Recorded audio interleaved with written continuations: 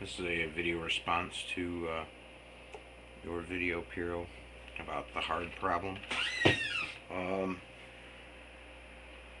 just a, a brief introduction. I uh, found your channel via Gary and uh, Gary's via Fred's and actually Gary's via some other atheists on YouTube. And uh, I just wanted to help add some things, hopefully. Um, I probably watched about two or three hundred of your videos and about I don't know 300 to 400 of Gary's and uh, only one or two of uh, Hythlodays and uh, Job's. So I don't really know a lot about them or uh, their side of the argument or the discussion. But um,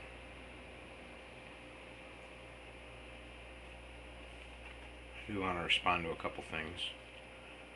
Um, and just to go down the list. Um, you said that you'd like to see it expressed by physics. Uh, keeping in mind uh, what what physics really is, you know, the, the, gist of it. Um, you know, working with uh, time, space, um, energy, matter, and various combinations of them in the form of work, which energy and work can be related, or almost directly related the form of joules, and uh, force, and uh, just pressure, and um, the main thing is uh, energy and time, and then how that relates to um, biology and uh, how we work in this universe, how we work as the universe. Um, and uh, a major thing that I think that uh, I don't know if you're neglecting it or if you're including it every time you say science, but uh, evolutionary biology and uh, you know the the beginning of life with uh, biopoiesis and um, kind of uh, autopoiesis and allopoiesis. Um, I don't know if you're familiar with those terms, but essentially biopoiesis, the origin of life, uh, autopoiesis, the reproduction of a system by itself, um, in this case life. Life is an autopoietic system, as well as uh, allopoiesis, create other things in addition to that, where life creates, like say, tools.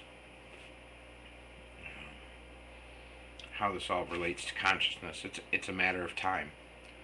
And uh, I know you mentioned the, the DNA molecule several times.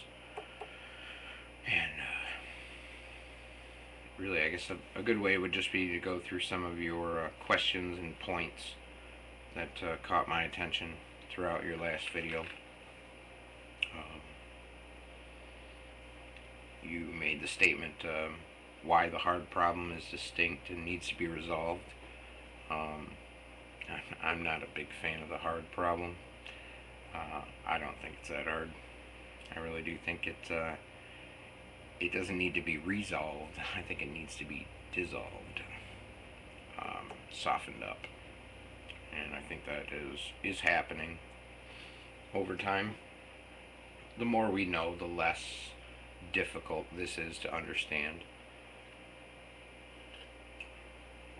But of course, we have to relearn it every time uh, individually. We do.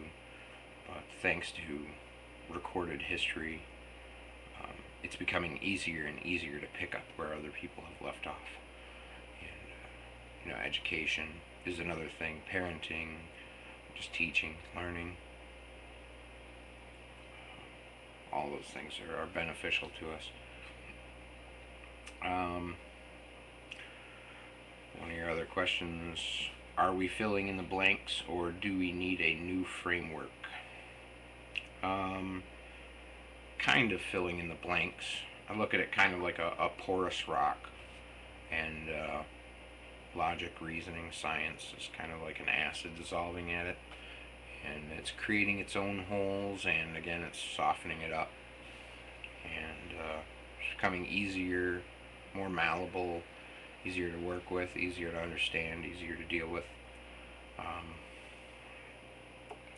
I know that scares a lot of people because a lot of their um, ideas or ideologies are based in previous positions that people have held, and those positions have been shared with them, and they have learned them, and they enjoy them. Um, you know, like uh, superstition. Um, and just being able to tackle superstition with, uh, to excuse me, my uh, vocabulary in this subject is not very extensive, but their ability to they, they kind of start with their reason for being in a um, in a sort of superstitious mindset. And then they try to add certain things to it be it uh, from mainstream science from um, proto science or new science um, or or theoretical science or um, or from fringe science, things that uh, are not publicly accepted or may even be a, a private belief. But they, they try to add to that to support um, their present state, and I think that uh, I think all of us are somewhat rooted in, in that, but also a lot of us are rooted in, in science uh, luckily, and in what did you mention? Uh, sort of a solipsistic uh, epistemology, or or as I just like to view it, a skeptical position. Sort of where we're, I mean, that's much simpler, but uh, where we doubt things, we question things, and that's that's really the most important thing is what kind of, at least in my opinion, what kind of questions we ask of each other. So I kind of, uh, kind of weeded through your video and pretty much pulled out a lot of the questions that you asked, and I figured that would be a good place to start a, a uh, dialogue. So, so yeah, a lot of people are held in. Uh, they try to base everything on their superstitious beliefs or to support that or um, or they like to think that this is somehow fantastic and just um, and that it's very mysterious and they enjoy the mysterious which which is a good thing I mean for even a mainstream scientist to look at the world as a, a mysterious thing. But I think the more we learn, the more you know recorded history we acquire, um, the more more people start from a skeptical position and work from there based on solid evidence, uh, solid understandings, or you know practical applications, practical understandings. The better that we'll do uh, and understanding what this is, and you know, hopefully we can we can make this better, um, make life better.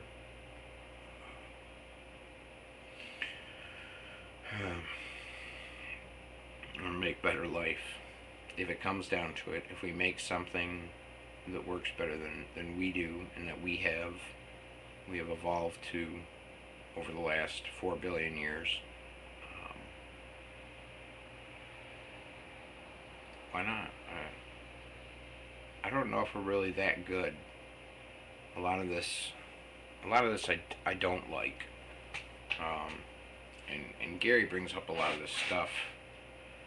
You know, like the whole aspect of uh, cannibalism, how life feeds on life, and how is that productive for life?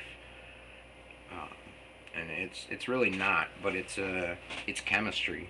You know, like you said towards the end of your video, um, that's what this is. We are attempting to acquire the chemistry that we need to continue to exist from other life forms, um, be it proteins, carbohydrates, lipids, or anything to create neurotransmitters, hormones, any of that, to just to function.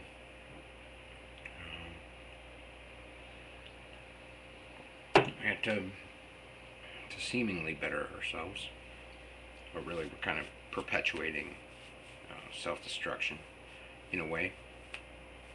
But some life isn't. Some life, like at, at the beginning, um, when it was all pretty much biopoiesis, when that was the uh, sole driving factor in evolutionary biology, hadn't even really um, come into play yet. Um, the the stuff that was here um, three and a half to four billion years ago. Um, it was a great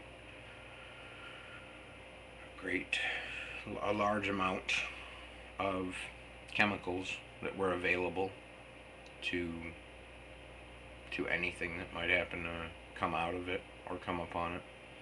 And and uh, I kind of disagree with and I wish I could disagree but with how we uh, we went about creating cellular structures to defend ourselves from each other and eventually sort of uh, weapons in a sense to take from each other uh, what we needed to better ourselves. Um, but here we are. And uh, I'd like to think that we can someday break free of that completely. Um,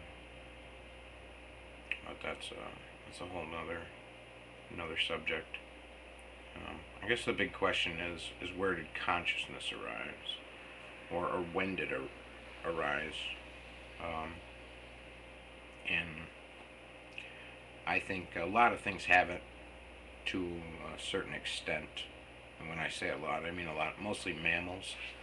Um, very small amounts of it. I, I see it more as uh, reactions, um, reactions, uh, responses to stimulation, um, in the acquisition of goods. That uh, that has over time almost made it necessary to form communication. Um, you see birds doing it. Um, just about all animals communicate. Um, or like hunting, you know, when it comes to mammals, um, dolphins, how they work in pods to um, round up fish, um, or even like a cheetah who uh, stalks through the grass, um, or even a, a pack of lions working together. communication is is somewhat necessary. And that, that brings up a good point, like the, uh, or excuse me, the, I'm thinking of the cheetah. It kind of works alone versus the uh, the lions that kind of uh, keep the sort of keep in contact with each other, and they rely on each other and their actions to determine what to do, and the actions of of the other group, the herd, the you know, whatever it is that they're hunting. Um, but yeah, communication is one thing. But then you've got some of the uh, lone animals that uh, do their hunting alone. And it almost kind of makes me wonder if they kind of imagine themselves, you know, or they imagine themselves in the, say, a gazelle's position. And uh, they think, you know, does the gazelle see me? Am, am I doing the thing that the gazelle won't notice? Or would the gazelle notice if I did that? And if so, I won't do that because I need to get as close as possible to it. Um, so I'm kind of getting off on a bit of a tangent here, but the emphasis is uh, evolutionary biology. I you didn't mention that once throughout the video, although you did mention science. Um, and I think if you want to understand how uh, consciousness or the sense of self, you know, which I don't know if they're really two separate things or um, two sides of the same thing or just two two terms used to describe different aspects of the same thing. Um, one of your questions: uh, at at what point does it come on this Cartesian theater, like we have it? Um, I assume you mean consciousness, uh, where we feel like we're an observer. Again, I think that's a, you know, the cheetah is a good example of that. I imagine mice even have it to some extent. Um, do they simply just react to, say, a human? Or, you know, to a sound, to a feeling, a vibration, sight? Um, or do they think? You know, to some extent. Um, this, I have to be ready for this. A, uh, a person might be looking, an animal might be looking, uh, you know, a predator might be looking for me. Yeah, I don't I don't believe that we know that fully at this point, but I think that uh, we will find that to a certain degree. Humans have certainly mastered that, um, and I think that's especially because of hunting, um, but also because of mating is another very important thing. We need to imagine what it, what a girl wants in order to find us attractive. And uh, we do a pretty good job of generalizing that. Um, but there's, you know, there's so many factors to take into account. But, but some factors are more dominant than others. They're more important. Um, and later you, you mentioned algorithms, which which I can get get to now. Uh, a statement that you made. Uh, where in that process, where in that processing, is there a mechanism for something to be going? Oh, I'm watching this stuff. I'm thinking about it. I can see why such a thing would be useful to help the thinking machine to process this information. But I don't see how it would arise. And so, unlike the easy problem, where we can say, look, we got these three algorithms, just keep perfecting them, we'll create something that acts like it has a self. Uh, we don't have the framework in experiencing being a self. We don't um, something a framework. We don't have a framework that we can fill in for that. Uh, you go on to say we need uh, something else. Or we need uh, the framework um, the framework really is evolutionary biology and just the process of evolution the um, the trial and error um, which is something if you if you really wanted to create and here is one of the big points that I wanted to make um, if you want to imagine a way to create a say a machine or even a computer program that thinks the way that humans do or, or becomes conscious um, one of the major things to that you would have to factor in there are the things that we experience throughout our life um, from from the beginning. Um, you know, like if you think back to your childhood as far back as you can, you know, you were alive before year, you know, for years before your earliest thought, but during that time, um, you were acquiring information, which which we all were. And eventually we, we create these thoughts that stay with us up until this point and, and if we continue to revisit them and think about them more um, can stay with us throughout our entire lives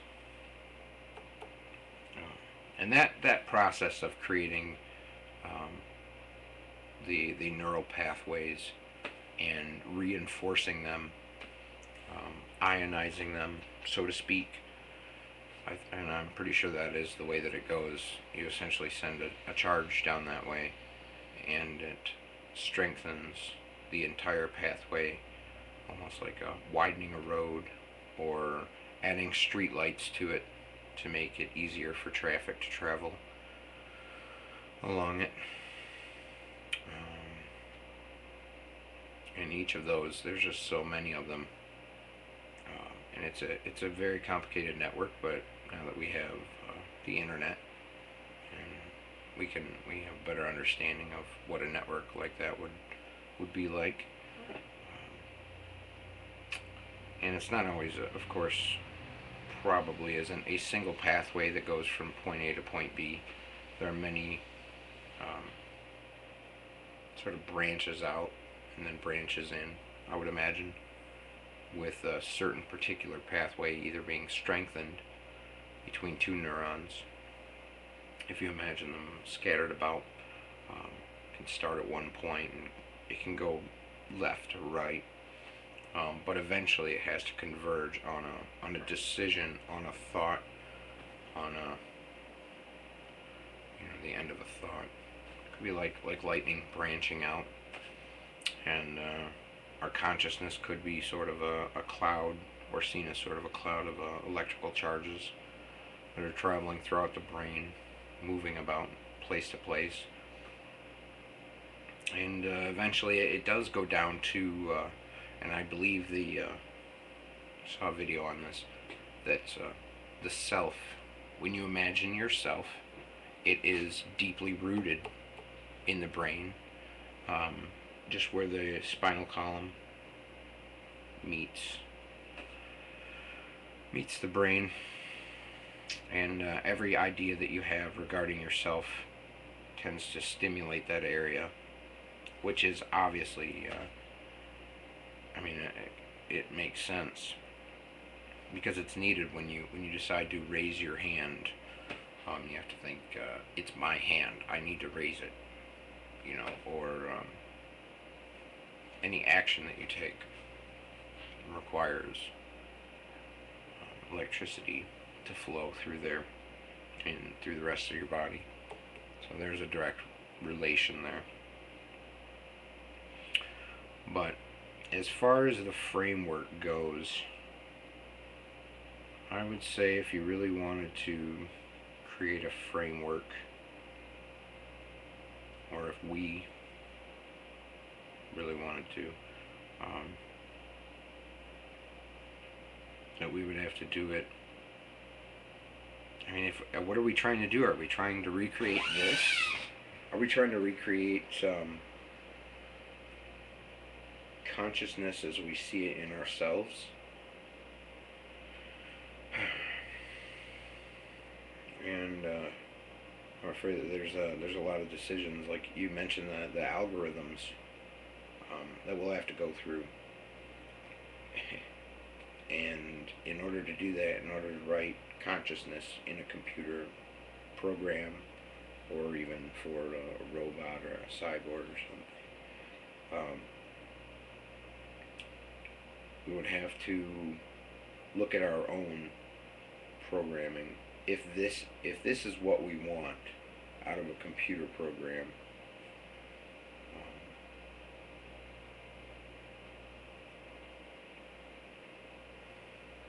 there's so many things to take into account. Uh, so many algorithms, all being one um, ultimate one. Like, uh, you know, the, the value of communication. And you mentioned that in the video. Uh, sharing information with people, um, how we find it beneficial or not. Um, and that's that's a decision that we all have to make. Even even I um, have thought about it, not publicly sharing information freely because it may not be beneficial to me in the long run. Because if I did want to, um, like say, financially gain from it, um, making putting all this information out there, or all the information that I have and have come to piece together in certain patterns. Um, putting it out there won't make it. You know, I need there needs to be a market for it, and if I saturate the market freely with it, there may not be a demand for it, which is is really unfortunate that uh, we do that. I'm I'm not so interested in financial gain, but I I can see, you know, in this world that I've come to know that um, you know it's it's unfortunate that money is required.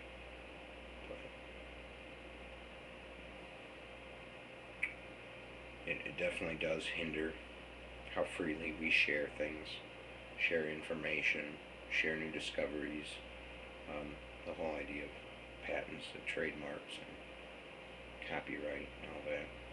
And disgusted by it, appalled, maybe. Um, but yeah, the, the framework. Um, look no further than life. If that's if this is really what you want, if this is really what we want.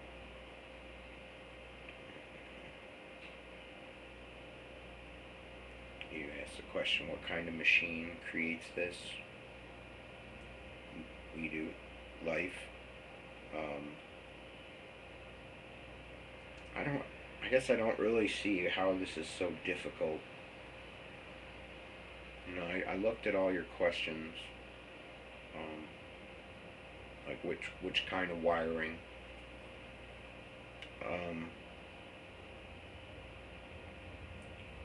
if you don't continuously think of yourself as a as a step in life, as a uh, as a part of the process, because life is really a process. At least that's the way that I view it, not as a, a thing, but uh, maybe a process is a thing, but. Uh, I that's another reason why I disagree, or I, I dislike the fact that we are contained. Um, we breathe in and out. We drink water and urinate. We eat food and excrete it. Um, so we are relying on the environment, sort of to to fuel this, to keep this body alive, but not we're not separate from it entirely. We feel like that's the way that we would like to go. Um, or maybe that is sort of the direction that we're heading, and I, I don't like it. I would, uh, I would rather we work together. You know, we, we, we weren't, we weren't restricted and I know that it's it may be difficult to see sort of a consciousness arising from a, a, a soup of life, you know, as opposed to independent organisms, which is not really independent, but uh, individual. but Yeah, I mean it's not it's not very hard. I I don't recall you mentioning biology in the video. Um, neuroscience is part of it, but I mean it's a process. It's many steps. I mean you think about all the computers that have been thrown away. Um, how many computers have we made, and how many have been thrown away uh, because the new ones were better at doing what we wanted than the old ones. Uh, which what we want is for them to do a thing, and that is kind of what life. I mean, the same comparison. That we want life to do a thing. We want we want to do a thing, and life wants to do its thing, and uh, its thing is sort of rooted in the in the origin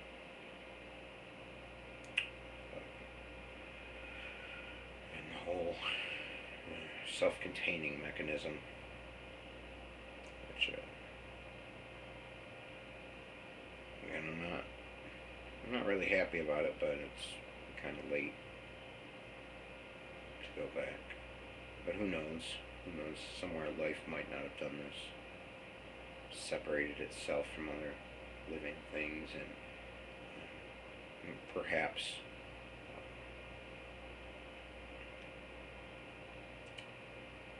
perhaps it flows, perhaps there's a, there's consciousness that uh, flows like uh, different liquids, or even, I mean, kind of like oil and water, um, but uh, more more soluble than that, where it can become a part of another one, and they can they can work together, and then know, maybe maybe pull themselves away, or maybe stay like that, maybe grow like that, maybe continue to go on, maybe have uh, offspring, much the same way we do, um, or maybe parts of it want to be separate. Maybe two things come together, um, chemi- you know, chemical, chemical consciousness. Um, you know, I don't know. I don't know if I want to call it life at that point by definition, but yeah, it would be life forms um, that sort of uh, merge and then give off offspring, perhaps in various quantities, perhaps before before one, you know, at, at a at its present state, it they would appear separate. Um, maybe one would give off some of itself before merging with another one, and then it could they could give off those two combined could give off various quantities of each other, you know, different in different ratios, and if those things wanted to go merge with other things, I don't know. I don't know if thought could come from all that, especially uh, consciousness and self-reflection. I don't even know if it would need to. I'm not a I'm not a big fan of that. It actually kind of scares me, I guess, when I do it. When uh, when I think about myself. But but I think I think it just scares me. I think it's it's almost been planted in us. Um, it it was an idea, and I think it's rooted in like religion has has kept it going. Um, and even sort of uh, they planted it. They planted in in children, religious people, minds that have been uh, been taught that. Have planted it in children and other people, and it's sort of uh, an attempt to keep us another attempt to keep us separate, perhaps and make us easier to manage. Um, yeah, I definitely disagree with that. Um, but even the even the first person thing, I think it maybe it started out as a very interesting idea. Some people liked it, some people didn't. Um, the ones that did like it, perhaps they, uh, I don't know, they're selfish and greedy and wanted more, so they, they kept it going, made it easier to. Uh, they make it easier to manage other people, you know, to get the resources that they need. And in this case, it's not so much the chemistry, um, but the work. The uh, the force, you know, the power. Power is when, Um, uh, speaking in terms of physics, um, it's definitely that's what it is. It's power over other people. Um, simply by thought.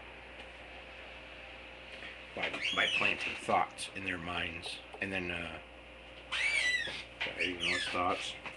But uh, let's see.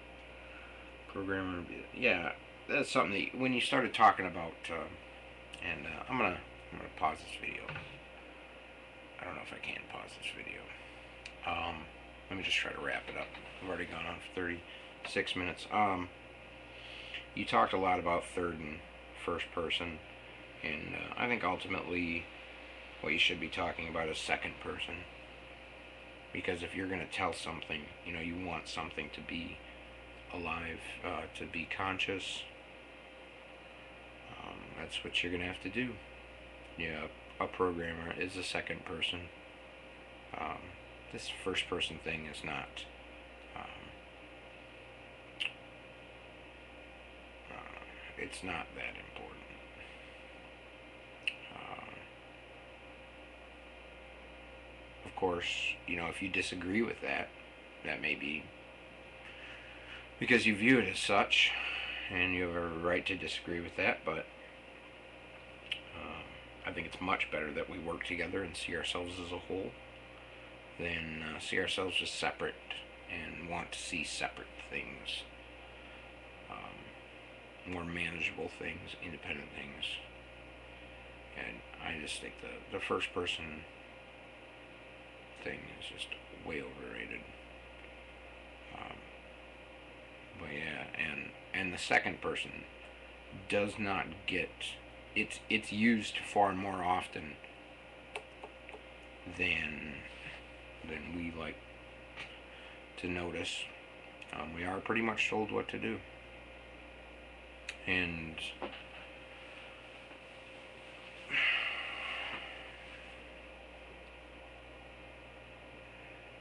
yeah, we don't we don't like it. Some of us, I guess that's the the very definition of free is being being able to do what you want and not being told, you know, having no one to tell you what to do. Um, I don't think that we will ever be free.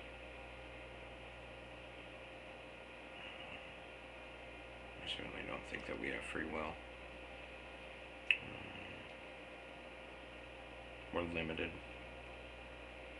in what we do.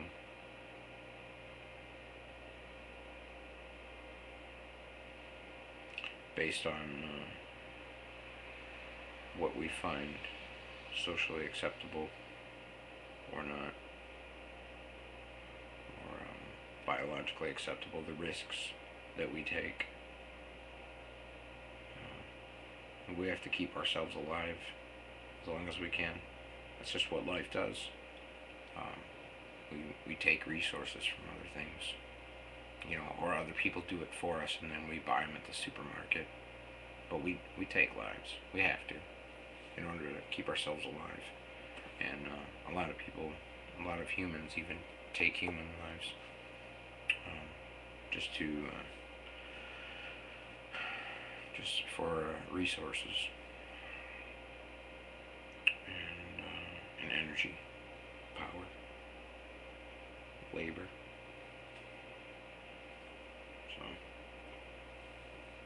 um, the last things that you mentioned. Uh, the reason I doubt that we are going to do it with computers as we understand them now is because the limits of Turing machines and uh, computational models. I didn't. I ran out of space there, but computational models and essentially what they are. And then you mentioned, uh, I think we have subtracted out.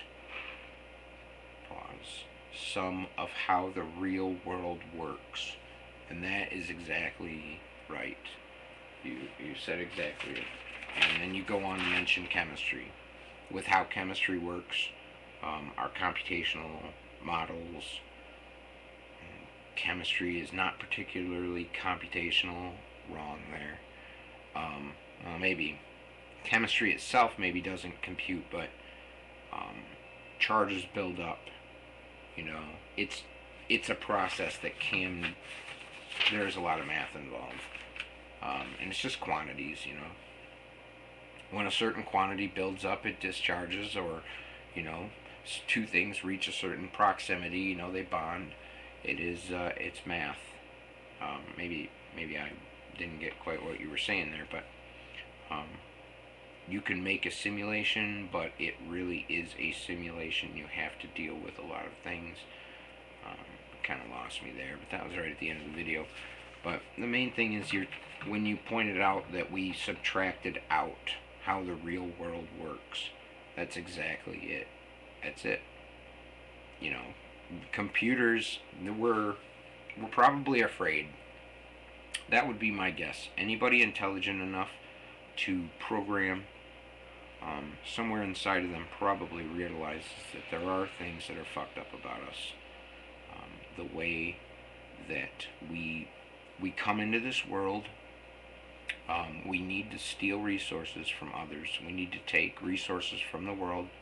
Um, we are not what um, we are not. What's the term?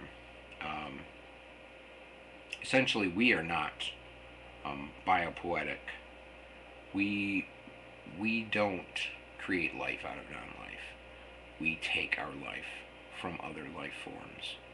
Um, however, simple microorganisms are doing that, and hopefully, with chemistry, we will turn the non-living. You know, there's there's what um, like six sextillion tons of uh, of Earth and uh, and something like 200 billion tons of living matter, which is nothing compared to the rest of this Earth.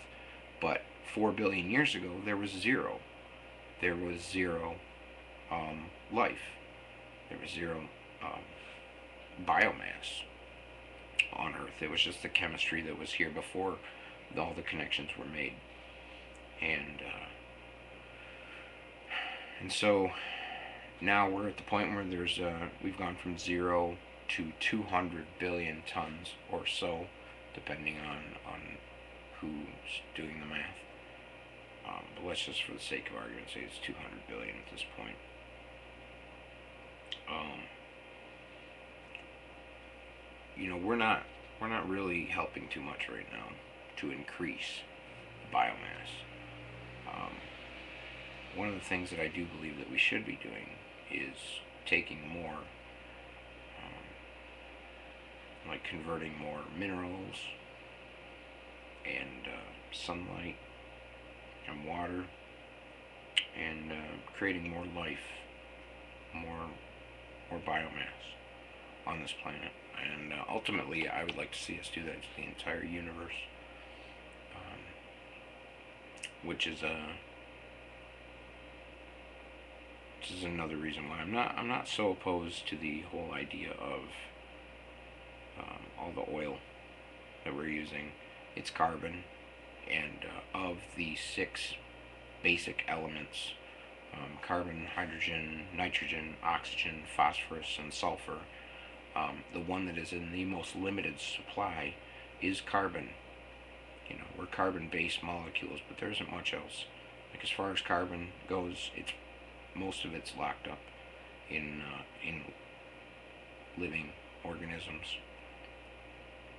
or in the biosphere right now. Um, the other stuff, there's enough of it. But I mean, if we used all those things in the ratios that we're using them now, um, the first thing that we're going to run out of is carbon. So bringing up all those uh, carbon-based molecules, those hydrocarbons, um, I don't really see it as such a bad thing. Um, you know, if you want to argue that it, it's going to kill some life on Earth,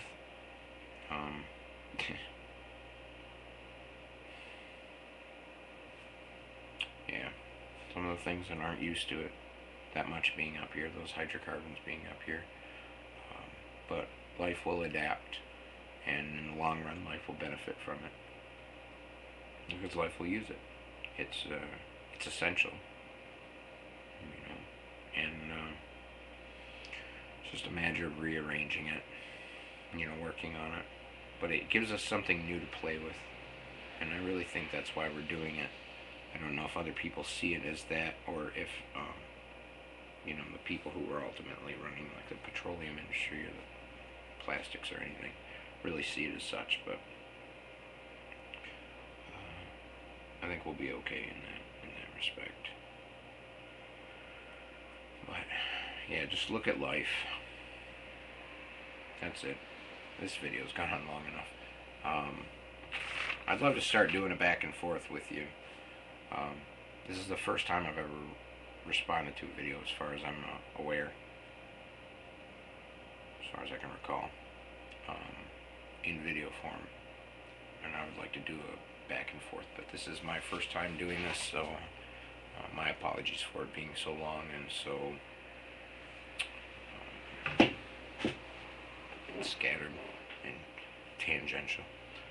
So, uh, thanks for making all your videos.